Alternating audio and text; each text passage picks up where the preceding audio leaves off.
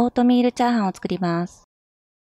耐熱ボウルにオートミール 30g、水 80cc を入れ 500W のレンジで1分加熱します。ニンニク1かけ、玉ねぎ 40g、人参 40g、20回ほどブンブン引っ張ります。